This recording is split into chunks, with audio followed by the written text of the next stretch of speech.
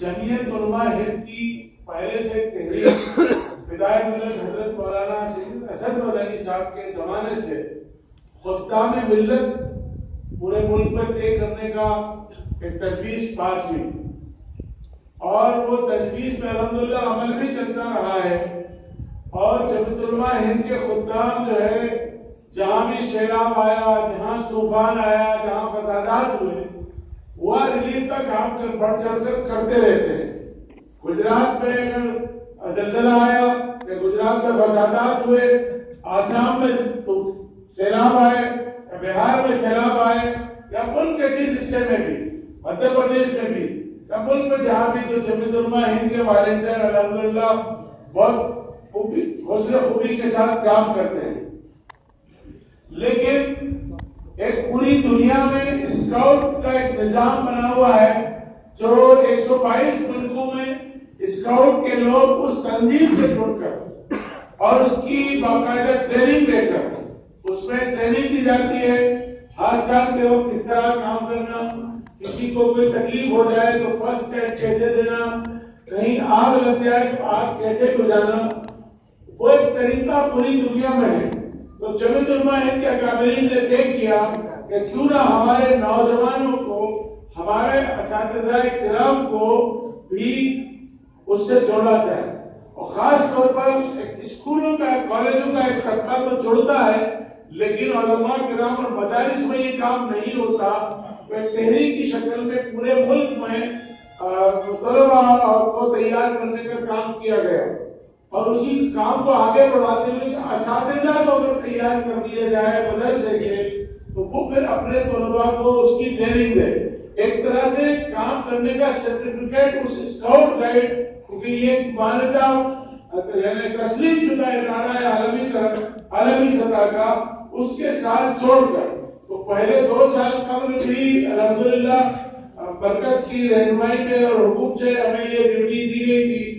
مدھیہ پردیش کو کہ ہم اسکاؤٹ کے لوگوں کو تو اس وقت کافی تعداد میں اساتذہ کرام تشریف لائے بھوپال میں اور کامیاب ہوا ٹریننگ ابھی چند دن پہلے بھی بھوپال میں یہ کیمپ لگا اور نو صوبوں کے لگ بھگ سو لوگ یہاں آئے اور انہوں نے کافی ٹریننگ حاصل کی تو یہ کام بڑھ رہا ہے اسی ٹریننگ میں سے تین لوگ ہیں اتفاق سے جو ایک تو ہمارے یہی اسکول کے ہیں، مولانا مفتی رابطے صاحب، اب ان کو دیکھ کے لوگ پہچانے گے نہیں تو فوجی معلوم ہو رہے ہیں۔ اور تو آپ کہاں کے بھارپورا ہاں؟ گنا یہ تین لوگ ہمارے بیچ میں موجود ہیں۔ حضرت صدر محترم صاحب جو یہ سب سرٹیفکیٹ دیے جا رہے ہیں۔ یہ مفتی رابطے صاحب جب سرٹیفکیٹ دیے جا رہے تھے تو میں موجود نہیں دہلی میں ورکنگ کمیٹی آ گئی تو انہوں نے کہا کہ ہارون صاحب نہیں میں ان سے لوں تو سارے لوگ اپنے سرٹیفکیٹ لے کے چلے گئے۔ انہوں نے میری دن پہ چھوڑا۔ آج ان کو پھر اور موقع مل گیا کہ آج صدر محترم یہاں موجود ہے تو یہ نصیب والے ہیں کہ مزہ میں بھرا لیکن حضرت موجود ہے ان کی خواہش تھی کہ وہ سرٹیفکیٹ حضرت صدر محترم کے ذریعے سے دیا جائے۔ اور حضرت صدر محترم سے درخواست کروں گا کہ مفتی رافع صاحب تین کھڑے ہو جائیں اور حضرت کے دستے مبارک سے سرٹیفکیٹ دیں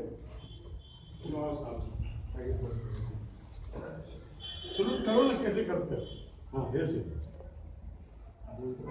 یہ ایک کا ہے بس۔ ان کے دو سرٹیفکیٹ دونوں۔ ہاں دونوں ایک ہی۔ کیا سامنے دیکھیں؟ باقی سب لے چکے بھی لے جا چکے۔ یہ ایک ہی رہ گئے اب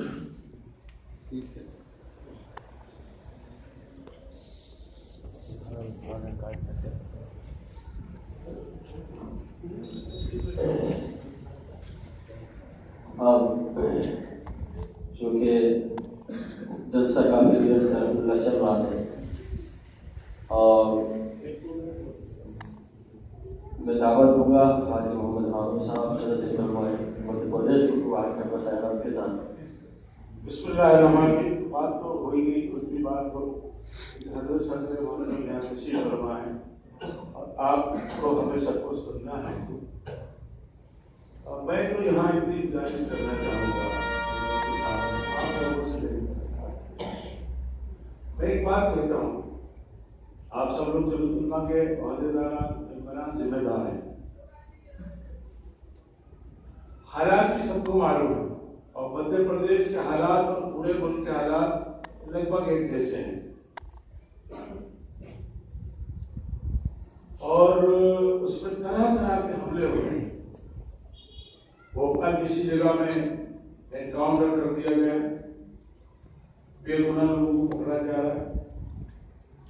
مساجد مقابل کی حفاظت کے معاملے میں بہت لاپرواہی ہو رہی ہے۔ حکومت